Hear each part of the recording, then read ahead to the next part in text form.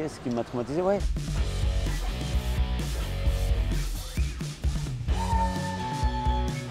Il a jamais un film. Il y a, il y a- ouais, des vidéos de guerre ou des trucs qu'on peut voir plus facilement aujourd'hui que quand j'étais jeune. peuvent être traumatisantes. Sinon, le qu'est-ce qui m'a traumatisé? Bizarrement, le premier traumatisme que j'ai eu, c'est de regarder à la télé en Argentine, d'avoir 7 ans, 8 ans, Le Moulin des Supplices, un film italien de Giorgio Ferroni. Et putain, ça m'avait fait tellement peur qu'après, je me souviens que je voulais dormir dans le lit de la bonne parce que j'avais tellement peur de dormir tout seul. Salaud de Pasolini, ça m'a impressionné quand j'avais 18 ans, mais J'en ai pas été traumatisé, mais ça m'a resté collé à la tête. Quand vous voyez un film de fiction, vous savez que c'est de la fiction. Les vraies choses qui sont traumatisantes, c'est les choses que vous vivez à la première personne. Un bas de trip d'acide non désiré, ça, ça peut être traumatisant. Vous voyez un chien andalou, l'ouverture, il est tellement jubilatoire que, que voilà, c'est à la fois choquant et totalement jubilatoire. Je peux regarder le film en boucle toute la journée.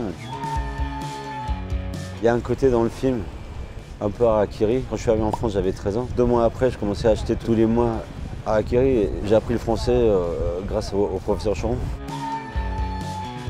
Il y a des chansons, euh, dès que vous les écoutez, vous avez envie de pleurer. Changes de Black Sabbath. Je connais pas le, le reste de Black Sabbath, mais cette chanson-là, ça me fout le bourdon à un point. Je vois pas les séries. J'ai plein d'amis que je passe euh, chaque week-end à regarder une saison complète d'une série. J'ai eu beaucoup d'addictions dans ma vie. Quand il y a des gens qui prennent de l'héros et tu vois ça de l'extérieur, tu dis non. Et je vois le temps que ça leur prend d'être accro aux séries. J'ai pas envie de rentrer dans cette cam-là.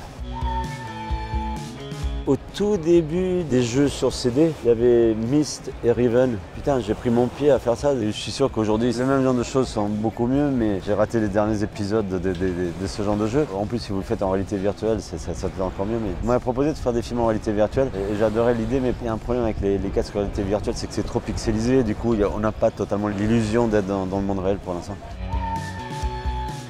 En BD, pour citer que des Français, j'adore Villemain, restons français.